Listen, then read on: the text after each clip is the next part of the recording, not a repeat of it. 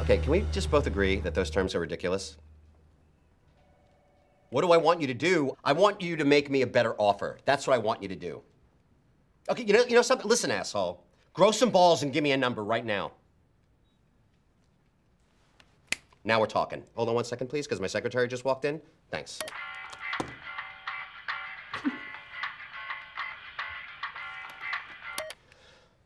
Hi. Uh, the other guys are undercutting you by 20%, so. Oh, so you can do math. Well, then you know anything less than 100 has me walking. And that includes HBO. Excellent.